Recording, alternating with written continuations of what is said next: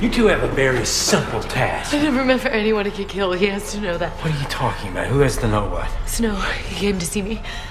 He's worried about rebellion in the districts. He thinks that they don't believe our love story. You know, Katniss, you should have told me that before I went out there and tried to give these people their money. I'm sorry, I didn't know what to do.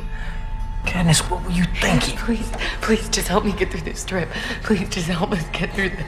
This trip, girl, wake up. This trip doesn't end when you get back home. You never get off this train. You two are mentors now. From now on, your job is to be a distraction so people forget what the real problems are.